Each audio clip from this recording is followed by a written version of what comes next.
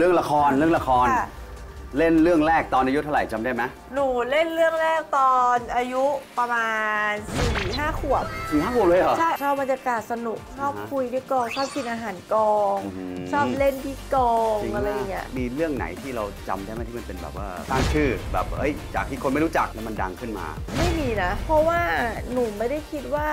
ชีวิตเราได้รับการเปลี่ยนแปลงอะแต่ว่ามันจะมีละครที่มันเป็นแบบ หนูไม่ได้คิดว่าหนูจะเล่นเพราะเอามาให้เล่นเพราะเป็นละครที่มันเป็นแบบยากมากอะเป็นความหวังของทุกคนอะที่ละครเรื่องเนี้ย เหรอ แม่กับป้าแดงก็เป็นคนสอนบอกว่าละครเรื่องหนึ่งก่อนที่เขาจะมาวางตัวเราเนี่ยเขาผ่านมาแล้วต้องกี่กระบวนการอ่าเพราะฉะนั้นเรามีหน้าที่เป็นนักแสดง เสียอะไรก็ได้อย่าเสียศรัทธาตัวเองเพราะคนอื่นเขายังศรัทธาเราเลยทำไมเราไม่ศรัทธาตัวเองอืมอันนั้นก็โดนไปช็อตหนึงเหมือนกัน เออเอ๊ะมันโดนด่า